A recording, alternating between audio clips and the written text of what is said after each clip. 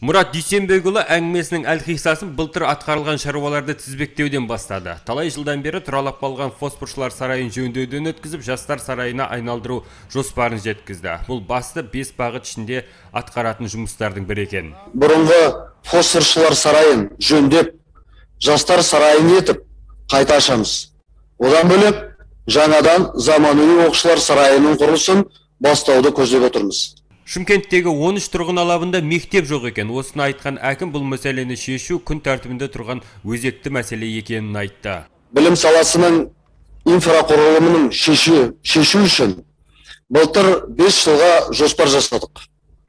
2025 жылға дейін Шымкентте 85 мектеп ашылады.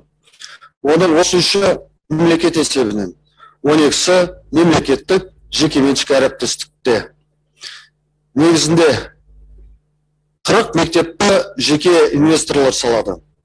Оның ішінде биыл 32 мектептің құрылысы басталайын деп отыр. Алдағы үш жылда қаламызда үш ауысымды мектеп мәселесі толық шешіледі. 2020 жылы ел медицинасын сынға салған жыл болды. Коронавирус пандемиясы саланың талай проблемасын ашып берді. Сондықтан биыл денсаулық сақтау ісіне қыруар қаржы бөлінеді екен. Былтыр қала медицинасына 80 миллиард теңге бөлініпті. Сондай-ақ онкологиялық ауруханада бірнеше компьютерлік томография және сәулелі терапия орталықтары ашылады. Мұндай орталықтар әзірге Нұрсұлтан және Алматы қалаларында ғана бар екен. Қала басшысының айтуынша шаһарда тағы бір перзентхана салынбақ. 4 жылға дейін біз мәселе біздің емхана ауруханалармен бәрі толық шешіледі. Бұл біздің қаламызда тек қана төрт емхана емес төртінші емхана емес мәселесі өз күрделі.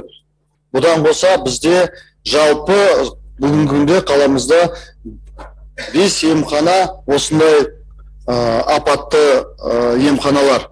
Оның бәрін біздегі қазіргі кезде біз өзіміздің қазір жоспар жасап жатырмыз. Оның бәрі мына күрделі жұмыстан өтуге мүмкіншілік жоқ. Уже тозған жүз пайыз. Сол себептен біз қазір олардың бәрін